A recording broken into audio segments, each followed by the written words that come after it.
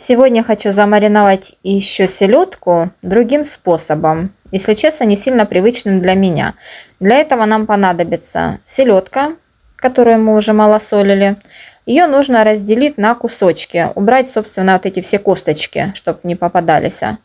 Потому что, как обычную селедку, нам ее будет неудобно кушать, выбирать косточки, руками в этом всем ковыряться.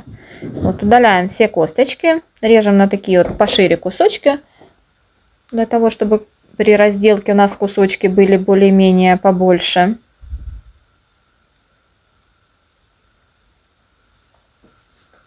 Такой способ, если честно, я ни разу не пробовала, поэтому будем делать вместе и пробовать тоже.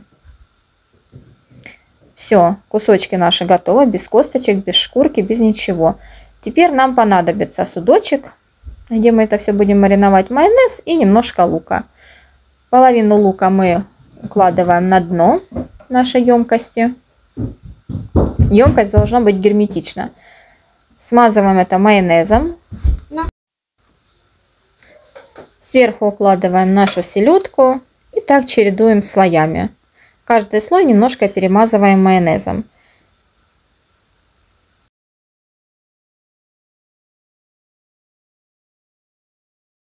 Для любителей майонеза очень Хотя, если честно, у меня муж майонез не ест, но эта селедка ему понравилась больше всего. Я хоть майонез немножко ем, но мне, если честно, в обычном привычном варианте нравится больше. Ну, для разнообразия тоже очень неплохо.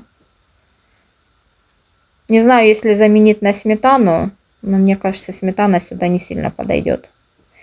Все это хорошо утрамбовываем. Верхний слой у нас обязательно должен быть майонезом промазанный плотненько так хорошо.